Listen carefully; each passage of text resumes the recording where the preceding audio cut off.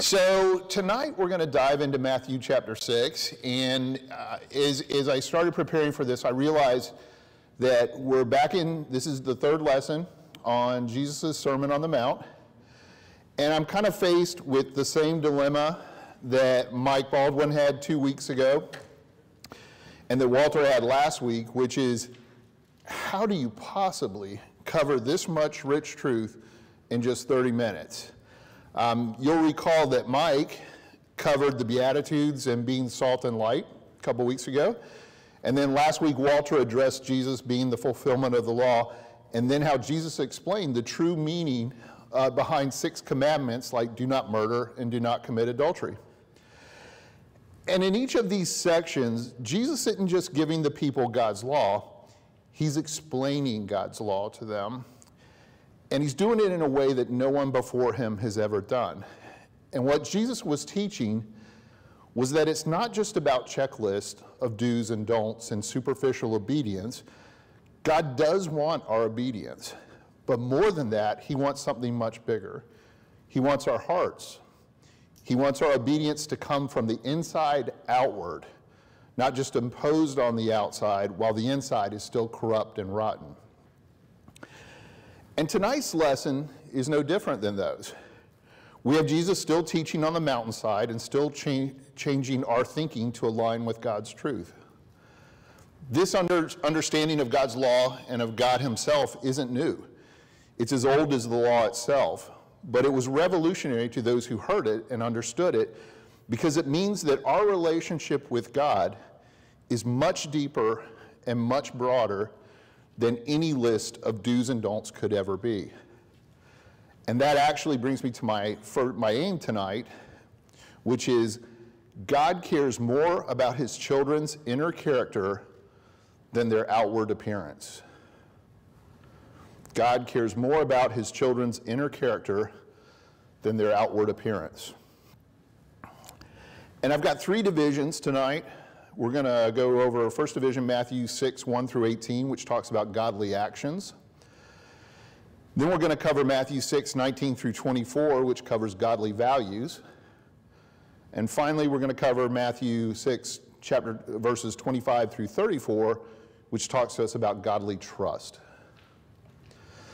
So there's an old saying you can fool all the people some of the time, and some of the people all the time, but you cannot fool all the people all the time. And that old quote was used in political speeches for years and years, and it was attributed to Abraham Lincoln. Um, but interestingly enough, there's no recorded instance of Abraham Lincoln ever speaking or writing the, those, those words. So, so apparently even Lincoln followers believe you can fool all the people all the time and stuff. But, but we as believers need to realize that it, we should append that old saying to say it really doesn't matter how many people you can fool and when you fool them, because God is never fooled. God sees our hearts. He's never, he, he never believes any of your lies. He never believes the stuff, you, even the ones you tell yourself. God is never fooled. And Jesus warned the Pharisees of this in Luke chapter 16, verse 14. He had just given a parable on money. And verse 14 says, The Pharisees who loved money heard all this and were sneering at Jesus. And he said to them, You are the ones who justify yourselves in the eyes of others. But God knows your heart. What people value highly is detestable in God's sight. And so, armed with the understanding that God sees our inner thoughts and motives as well as our actions, Jesus proceeds to address three areas where we are tempted to put on a false exterior. And those three areas are giving, prayer, and fasting. Now, none of these are bad things, right? Like, like those are all really, really good things. Quite the opposite. But Jesus cautions us in verse 1 be careful not to practice your righteousness in front of others to be seen by them. If you do, you will have no reward from your Father in heaven. In other words, if you're doing something, regardless of how wonderful and spiritual it is,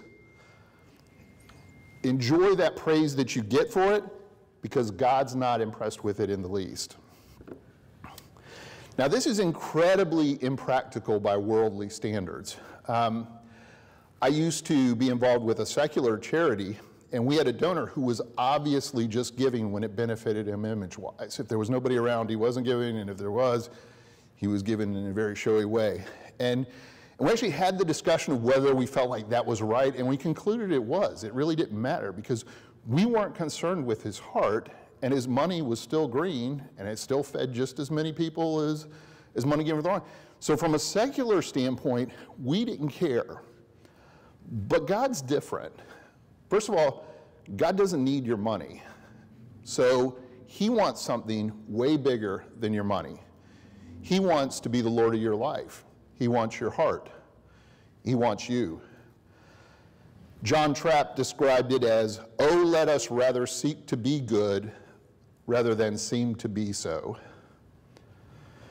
And like all things of God, we come to learn that when God's plan differs from the world's, God's plan is actually always better. And God knows that if He has your heart, He has you, and your actions will eventually follow. Um, Thomas Cranmer was the Archbishop of Canterbury in the 1500s, and he summarized the idea like this What the heart loves, the will chooses, and the mind justifies. That's like one of my favorite quotes, so I'm going to read it again. What the heart loves, the will chooses, and the mind justifies. If God doesn't have our heart, and instead we're just checking boxes and appearing to be pious, there's only two possible results. The first is that you live your whole life that way, only to get to heaven and find out that you have no reward for all that activity. And the second is, as Cranmer feared, that because our heart doesn't belong to Christ, our will is weak, and we find ways to rationalize our wants and desires. And because our wants and desires are not aligned with God, we will inevitably rationalize our actions, however ungodly and wicked they may be. And we've heard all heard instances of this, right? Like, yes, I abandoned my family, but God wants me to be happy. Or, yes, I cheated this person, but they had it coming. Look what they did. And so we've all heard these rationalizations before, both from others and sadly sometimes from ourselves. We can all rationalize things if, if our heart is out of alignment with God. So if you really want to be obedient, lose the checklist and align your heart with the thinking and your thinking with God. And how do you do that? First and foremost, you have to be cleansed by the blood of Jesus Christ. No one is going to be good enough on their own. And then from that point, it's, it's really the whole sanctification process, right? Like it's staying in God's word, it's daily prayer, it's asking Him to show you where your heart isn't aligned with Him. And it's an ongoing process. This side of perfection, you aren't going to nail it every time. And the challenge you're going to wrestle with for the rest of your life is that you're going to keep chipping away at those imperfections this side of heaven. But the encouragement is that you have a Savior who forgives sins, and He also helps you change. The fact that you've had this weakness for years doesn't mean that you'll have it tomorrow. God is the in the life changing business, and in spite of how it seems sometimes, business is good. So that's kind of a long winded introduction to our first division tonight. And with that introduction, I'll go ahead and give you our first principle tonight, which is God cares about our motives. After all these elaborate quotes and everything, I have a really simple principle. God cares about our motives. So let's see Jesus apply this principle to three areas tonight. First, in giving.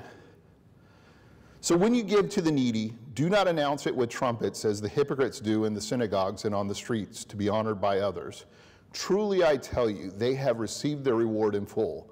But when you give to the needy, do not let your left hand know what your right hand is doing, so that your giving may be in secret. Then your Father, who sees what is done in secret, will reward you. So if you're going to give, give because it pleases God, not because it impresses people. Charles Spurgeon said, Keep the things so secret that even you yourself are hardly aware that you are doing anything at all praiseworthy. Let God be present, and you will have enough of an audience. I love that last sentence. Let God be present, and you will have enough of an audience. Now, this doesn't mean that you need to run around and hide your giving in offshore accounts and, and do crazy things to, to take it, to, to be legalistic about it. But if you're tempted by the praise of others, if, if you're a guy who, who actually likes those, those attaboys when, when you give, ah, you know what? Maybe you are a guy who needs to give online and to give anonymously so that folks don't see it. Um, and, you know, just like the alcoholic needs to stay out of the bar, maybe you need to keep your giving secret and kind of on the down low to avoid the temptation until God strengthens you in this area. Remember, God cares about our motives, right? So, so next he spoke about prayer. And when you pray, do not be like the hypocrites, for they love to pray standing in the synagogues and on the street corners to be seen by others. Truly I tell you, they have received their reward in full. But when you pray, go into your room, close the door, and pray to your Father who is unseen. Then your Father, who sees what is done in secret, will reward you. So, same principle as giving. If you like to put on a big show and you like to hear how, how eloquently you prayed and how beautiful your prayers are, here's your reward. That's your reward, right? Um, now, Jesus isn't telling you never to pray in public. Jesus himself prayed in public. But your prayer shouldn't be because you are in public. Uh, prayer is just talking to God. And as Spurgeon said about giving God, about giving, God is the only audience you need.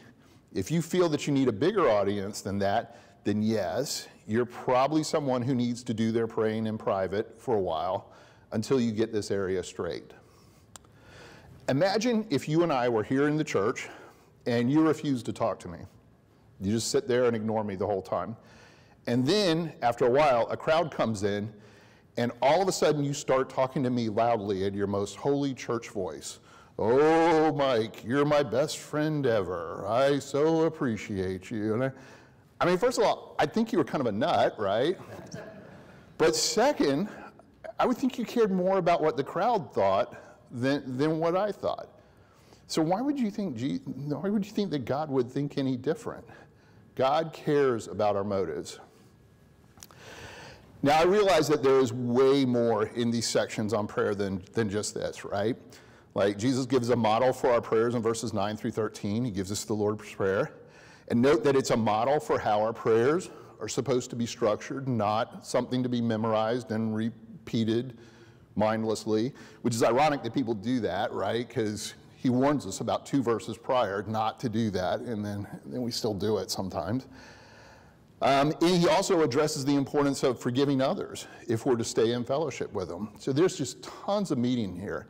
And when I read these section, this section on prayer, I was like, oh my goodness, I don't know. I need to find somebody with a really succinct kind of summary of this. So I have all these places I go to and research when I'm preparing for lecture. And so I went to one of them that's my favorite, and it's a collection of, of sermons that you can listen to. And I'm like, I'll go see and see what he's got on prayer. Um, there were 13 hours of teaching on these sections, on these verses on prayer. And I'm like, no, they're not going to go for that on Monday night. I know. So, uh, so, so I get, so if you tell me, gosh, Mike, there was so much rich stuff there and I feel like you didn't touch on stuff, I get it. You're right. There is. Um, we're going to stick to our main principle tonight that God cares about our motives. And, and that's what we're going to cover on prayer. But I would encourage you, read the notes on this section on prayer and also, if you have interest, there's wonderful resources out there. So there's a lot more meat you can get under this section, but we're not going to do it with me getting you out of here at 8.30 tonight. So um, the last example, example Jesus gave us is fasting. People today don't generally fast as much for religious reasons, so I wanted to kind of briefly clarify what we're talking about. This isn't fasting for medical reasons and it's not fasting for dietary reasons. This is abstaining from food with the intention of humbling yourself before God and focusing on your prayers to Him. Public fasting is, I thought this was really interesting. Public fasting is only commanded by Scripture in one instance, and that's in Leviticus 16, where God provides the activities for the Day of Atonement. Other than that, fasting is a very personal thing. It's a wonderful tool, it's available to all of us. Um, but it's personal. It's not something that we do as a community or as a group. A group of us can decide to fast together, but, But interestingly enough, the Pharisees had decided that they would kind of demonstrate their holiness by fasting twice a week. So Scripture didn't command a fast twice a week, but they did. Um, and all indications is that they were quite proud of it and quite showy about it. In Jesus' parable in Luke 18 about the proud Pharisee and the lowly tax collector, the Pharisee boasts, God, I thank you that I am not like other people, robbers, evildoers, adulterers, or even like this tax collector. I fast twice a week and I give a tenth of all I get. So he was really proud of the fact that he fasted twice a week and he wanted everybody to know about it, right? As you can imagine, Jesus was not amused. So in this section, Jesus says, When you fast, do not look somber as the hypocrites do, for they disfigure their faces to show others they are fasting. Truly, I tell you, they have received their reward in full. It's the same principle, right? In all three examples giving, prayer, and now fasting if you do stuff to impress people, that's your reward. Impressing people is the only reward you're going to get. God doesn't, if, you, are not doing it for God, God's not going to reward you for it. So, so I would ask you tonight, how would you apply this principle to your life? What are you more concerned about your appearance than your heart? Where are you more concerned about your appearance than your heart? And if everyone around you truly knew your heart as God does, would they still be impressed or would they be shocked? So, on to our second division tonight. We talked about, so all that kind of talks about God, what true godly actions are in the motives. Now we're going to talk about godly values. And we're going to have to jet through these next divisions, but don't panic. They, they are quicker. How am I doing? Eh, eh, I should get there. Um, so God wants truth and godliness in our actions, right? We just covered that. He also wants truth and godliness in our values. He wants us he wants to be at the center of what we view as precious and he wants us to think of eternal value. And in verse 19 he says, "Do not store up for yourselves treasure on earth where moth and vermin destroy and where thieves break in and steal, but store up for yourselves treasure in heaven where moth and vermin do not destroy and where thieves do not break in and steal. For where your treasure is, there your heart will be also. So there's a lot of shiny things in, in this world that can be really enticing. And I think as men, I think that we have a carnal man that we have to wrestle with that wants to conquer and to possess. Um, but Jesus is telling us to stop and think. Use your brain here. Worldly wealth is going to waste away, but heavenly wealth will last forever. If we have that eternal perspective, you realize that chasing worldly things is foolish. Jesus goes on to warn no one can serve two masters. Either you hate the one and love the other, or you will be devoted to the one and despise the other. You cannot serve both God and money. Now, I think it's important to note here that Jesus isn't saying here that having money is wrong. He's saying that serving money is wrong. If you have earthly wealth and it doesn't hinder your pursuit of heavenly treasure, it can be fine. I work with somebody who I would say is a great example of this. He uses his wealth to pursue worldly treasure. But it's a tricky situation, and there are lots of pitfalls to avoid. I think that if you're going to do it successfully, you need to be very intentional about it. And you also need to be very diligent to look for the pitfalls. I talked to him a little bit before this lecture, and he said he worries about this all the time. He has a constant check on his heart to make sure that he isn't in love with his wealth. And, and it's part of the burden of having that wealth. He, you know, and so he's very intentional about it. So how do you know if you're serving God or money? I've always heard to check your calendar and check your checkbook. Um, because if you can figure out where you're investing your time and where you're investing your money, that's probably where your heart is. We're all busy, but do you feel imposed upon by things that, are, that offer kind of eternal benefits but no earthly reward? Is giving difficult for you? Do you experience joy or frustration at the thought of giving or serving? Each one of us needs to examine our own hearts, but there are good questions to start with. And actually, one of the best I heard, like it's interesting, I was just driving to lunch this past week, And the guy on the radio was talking, and he used an example that I'm like, okay, well, I'm stealing that. Um, if you have two adult children, and you receive letters from the two of them, both in the same day, and the first one says, Dad, everything's going great. I got a big promotion at work, the kids are doing great in school, and we all love the new house and we, that we just moved into. Life is super good and super busy. So we really don't have time for Bible study or church anymore, but everything's going great. And the second letter says, Dad, you know, I got laid off from work last month, and with my wife being sick, it's hard for me to invest a ton of time in finding a new job. The bank's talking about foreclosing on the house. But listen, we're praying about this every day. We're taking it to God and we're praying for help here. And He's got this. We're good. Don't worry about us. So, which of those two letters keeps you up at night and keeps you worrying? Which of those children are you the most concerned with that evening? And, and if you think about that, that can, that's a question that can point you in. So, there are all of these questions that we should be, you know, keep prodding yourself, keep checking yourself. Do I have a blind spot? Do I have a, do I have something there where I'm kind of secretly holding on to worldly wealth and not, you know, and then and I love it more than heavenly. And that brings us to our second principle, which is God wants us to pursue his eternal treasure. God wants us to pursue his eternal treasure. So, what's the most important thing to you right now? Do your actions and your decisions reflect that? Would your family and friends agree with your answer? So, third division godly trust. And this last division is one that's really near and dear to my heart. Uh, because I am a reformed control freak. And when you're a control freak, worry's just part of the game, right? Like you have to worry because if you don't take care of things, nobody else will.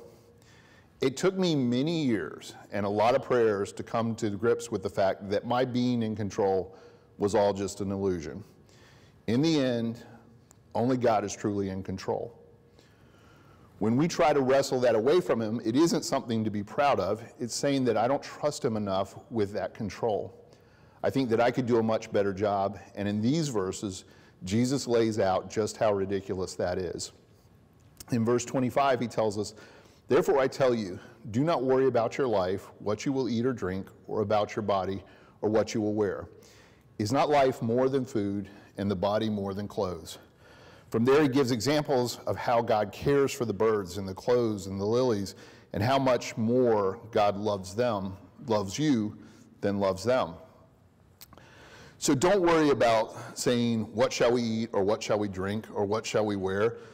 For the pagans run after all these things, and your heavenly Father knows that you need them. But seek first the kingdom and his righteousness, and all these things will be given to you as well. So God's saying, don't worry, I'm sovereign. And trust that my plan is good, even when you don't understand it. So does that mean that I should quit worrying, eh, working and just wait for God to drop food in my mouth? No, of course not. That would be presuming upon God. But it does mean that once I've done my job and been a good steward with the resources for which I have been entrusted, I shouldn't worry because the rest is up to him. I can't control the market if I'm an investor or the weather if I'm a farmer. I can't guarantee the health of my family or the well being of my church, but I can trust the one who can and seek his blessing, but also seek his understanding when things don't go as I would want them to go. God's plan is sovereign when I like it and even when I don't if I believe what I say I believe, God will have my heart, He will be my treasure, and finally, He will have my trust. Worry tells me that I'm not there yet. Worry's kind of that signal flare, right? If, you, if I got too much worry in my life, that's a sign that I'm not there yet. Trusting in good times and in bad tells me that I've made that move and I'm aligned with Him. Which leads us to our final principle tonight. Loving God means replacing worry with trust. Loving God means replacing worry with trust. So, who's in control in your life? Loving God means trusting Him. Do you trust Him with control of everything in your life? Let's pray. Father, thank you for all the gifts that you give us, but especially for, for the gift of Scripture, and especially tonight for the gift of Matthew chapter 6, for your, for your teachings on the Sermon of the Mount. Uh, thank you for explaining the true meaning of, of the law. Thank you for helping us to understand what we need to do to apply it to our lives. I pray for each of the men here. Have your hand on them, help them to apply your truths to their lives help each of us to look for areas in our life where we're still clinging to worldly treasure and help us to kind of turn our focus always towards you. In your name we pray. Amen. All right, gentlemen. Help me remember what's next week? Fellowship. Fellowship. Right, right. All right. See you then.